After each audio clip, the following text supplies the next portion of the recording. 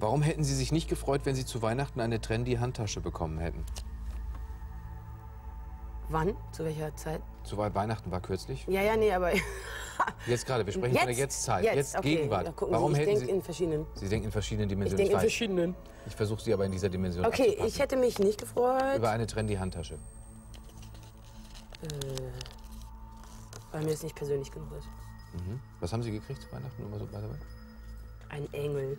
Wie was für ein Engel? Ein selbstmodellierten Engel. Den Engel von einem Bildhauer von Thorwaldsen, so ein Hammer-Bildhauer, der alle großen Figuren der Geschichte in riesengroß Marmor gehauen hat. Das habe ich in Kleinformat gekriegt. Ich wollte gerade sagen, mit Kran. Den Engel der Taufe. Der wurde in meine Einzimmerwohnung reingehoben und jetzt bin ich obdachlos. Was ist das für eine eigenartige Übersprungshandlung, die Sie jetzt in Zettel so verhalten lässt? Ja, irgendwie, weiß ich auch nicht. in, wel in welcher Beziehung sind Sie eine Ökowollsocke geblieben? Weil Sie müssen in Ihrer Jugend schwierig gewesen sein mit so Batikhemden und sowas und Anti-Haltungen. Indem ich gerne, ich esse gerne Bio-Essen und ich habe jeden Tag ein schlechtes Gewissen, in mein Auto zu steigen und liebe aber trotzdem Auto fahren. Sowas zum Beispiel. Haben Sie so ein dickes Auto? Ja, aber ich fahre mit Gas.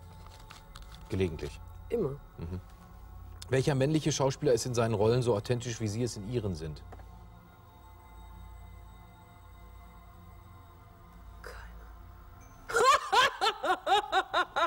Der Lautstärkewechsel, das ist das, womit man so schwer leben kann. Okay, Armin Rohde finde ich Hammer. Wenn Sie Mitglied des Bundestages wären, in welchen Redner würden Sie durch Zwischenrufe zu stören versuchen? Welchen? Ja. Welchen Politiker, wer, fällt Ihnen da so ein, der im Bundestag normalerweise spricht? Würden Sie eher Franz Müntefering stören, Guido Westerwelle, obwohl Franz Müntefering ist, glaube ich, gar nicht mehr Mitglied des Deutschen Bundestages, aber äh, Peter Struck, ähm, Ich glaube. Peter Steinmeier sogar.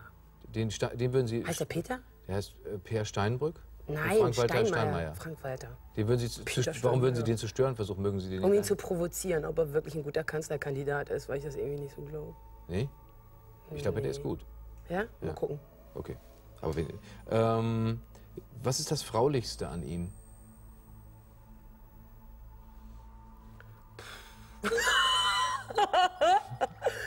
Ähm, ich glaube, das müssen andere beurteilen.